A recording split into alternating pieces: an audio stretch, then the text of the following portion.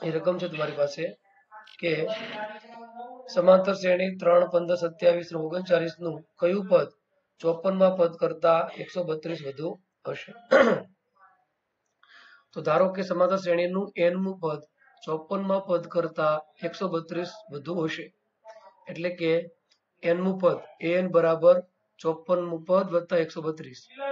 પણ એ નું આપણે અહીં સૂત્ર મૂકીએ તો એન બરાબર એ વત્તા n minus one into d થાય. બરાબર છે? ત્યાર પછી આ બાજુ બરાબર કરીએ તો આપણને શું મળે તે આપણે જોઈએ.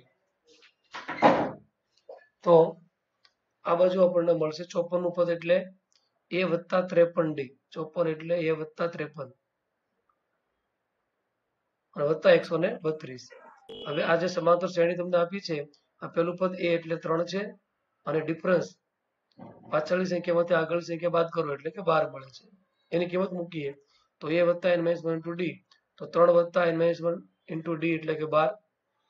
અહીં ત્રણ એમ નેમ રાખો બાર નો ગુણાકાર કરો, પ્રથમ એન વડે કરો, તો બાર એન અને પછી એક વડે કરો, તો બાર એકુ બાર, એટલે કે બાર એન ઓછા બાર.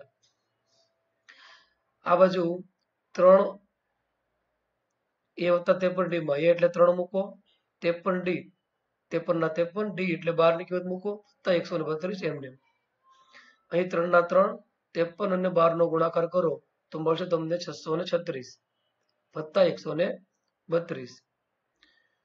ડાબી બાજુ અહીં જુઓ ત્રણ છે એ કેવા છે તો કે ત્રણ છે વત્તા છે અને બાર માઇનસ છે. એટલે બારમાંથી ત્રણ જોશે. એટલે અહીંયા વધશે માઇનસ નવ વત્તા બાર. અને અને આ બધાનો સરવાળો આ બધાનો સરવાળો થશે છસો સાતસો ને એકોતેર.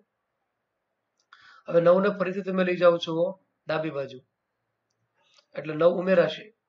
તો થશે બાર એન બરાબર સાતસો એકોતેર વત્તા નવ. તો બાર એન બરાબર સાતસો ને એસી.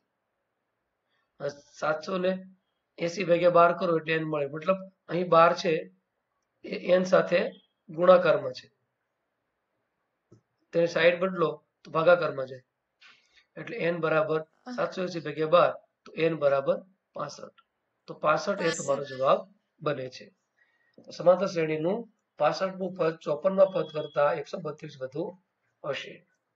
બરાબર? ચાલો તો